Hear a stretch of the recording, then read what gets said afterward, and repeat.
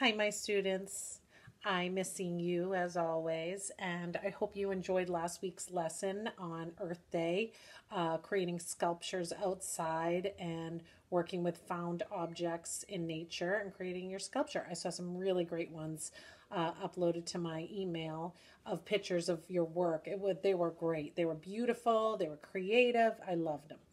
Uh, this week, we're also going to do something a little different um, and switch things up. It's so hard to not see you and be with you to do these art projects. So we're going to try different things. And um, this lesson, uh, someone sent to me, and um, my student, my own son, how to do it. And I thought it was a great lesson and learned a lot about the color wheel and about colors. So every week you come into my class and we learn uh, different elements of art. Um, you don't realize it, but I'm putting in things that you don't realize you're learning about. And to create art, you have to learn about art. And we sometimes do projects on lines, which is an element of art, or sometimes texture or patterns. Those are all elements of art, and to understand them is to create art. Well, today we are going to be doing something that's not just drawing and creating art, but we're going to do something to understand art. And we're going to talk about colors. And we've always talked about colors in most of our projects, but we're really going to concentrate on it this week. We talk about, and you all know about a color wheel, and I'm going to make one up here. And we talk about primary and secondary colors. And uh, whether you're in kindergarten, first grade, second grade, or third grade, you've all learned about these colors. So we always learn about, and here's a picture of a color wheel, a true color wheel with all the colors on it. And this week we are going to talk about one that you didn't learn about on the color wheel. So we always know about our primary colors, which are red,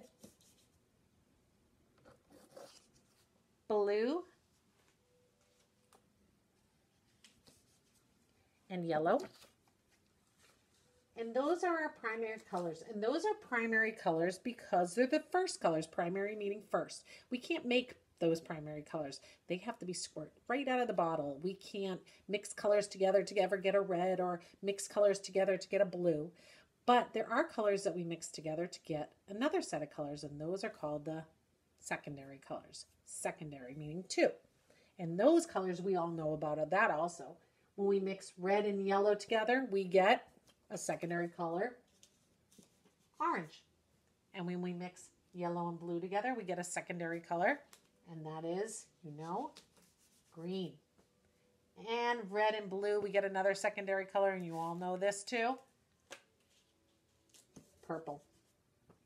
You see how my color wheel is starting to get circle like a wheel? I always set it up. It kind of looks, I think of it in shapes.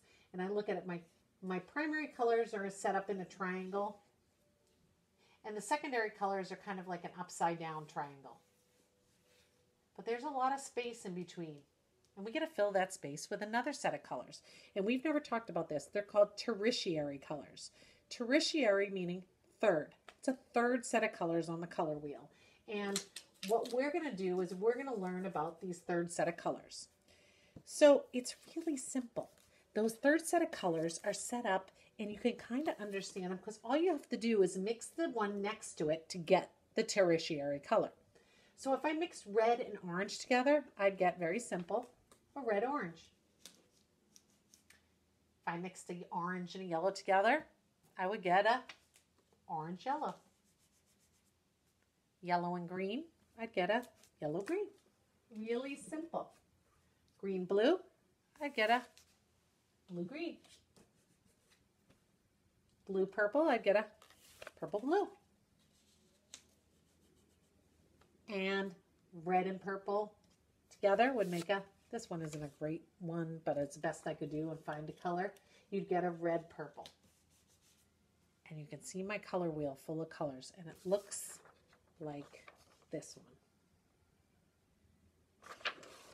What we're going to do this week for our projects, we're going to do make a color wheel, but we're going to make a color wheel out of found objects in your house. Well, we're going on another scavenger hunt. This time we're going around our house and we're going to find found objects, anything that represents one of these colors, a primary, secondary, and tertiary colors and you're going to create a color wheel from found objects in your house. It can be dog toys. It can be a bowl. It can be a sneaker. It can be a hairbrush. It can be a marker. It can be um, a piece of paper. It can be anything you can find in your house. You go through the kitchen. You can go through your bedroom. You can go outside. Anything to make found object color wheel.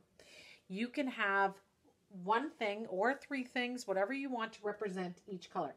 Again, it doesn't have to be perfect, doesn't have to be a perfect match, but close enough to this to create those colors. So I will attach a picture to my video of the color wheel so you can bring it around the house and try to match some colors up. I made my own found object color wheel and I'll show you a picture of what me and my son did for his art project. We found it. It's hard to see the colors good on my computer, but we found it. I'll do it a little further away, maybe better we did use cups. We used dog toys, a, a, handkerchief, nail polish, markers, dog toys. We used a lemon and a clementine. It's hard to see those colors close up with the glare, but we did right there. That is right there is some makeup box.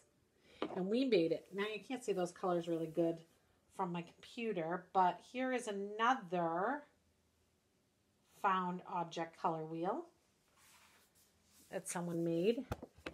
You can see they use Legos and weights.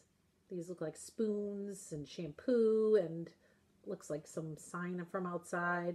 Sneakers, cat toy, a bag, you, anything you want to make your found object color wheel. I'm going to attach examples of the color wheel to this video and I'm also going to attach some of my examples so you can really look at it. But you are going to create and you need to have at least 12 objects because there's 12 colors in the color wheel, three primary, three secondary, and six tertiary because they go all in between. They're real easy to remember because you just mix the two together, mix the two together. You start with primary, then you go to secondary, then the tertiary. So you are going to have fun going on your scavenger hunt and creating. It's easy to understand this because to create art, we have to understand that art. And so this week's lesson is a little different than what we usually practice by just making art. We're going to really understand art. So I hope you have fun with this lesson and you can upload your pictures to a downey at epsteinhillel.org. They can have your um, someone who's with you upload the picture so I can see all these really great color wheels you're going to make for me. Hope you have fun with this, and I look forward to seeing your pictures and see you next week.